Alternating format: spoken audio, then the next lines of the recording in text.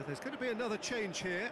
Yeah, I think he's been told to play that role of, of the tactical pivot, spraying the ball about sometimes, driving it forward from the middle of the park.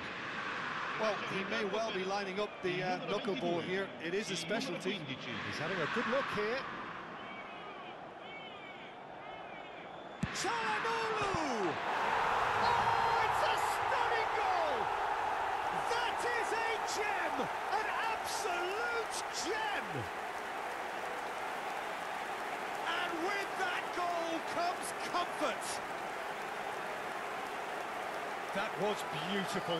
Something close to genius. Well, he made it look effortless. Clearly a training ground perfectionist.